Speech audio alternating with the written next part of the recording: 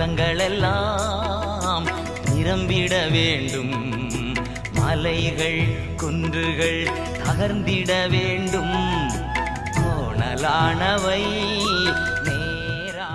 நீங்கள் பூமிக்கு உப்பாயிருக்கிறீர்கள். மத்தேயு ஐந்து பதிமூன்று. ஆயத்தமாவோம். ராஜா வருகிறார்.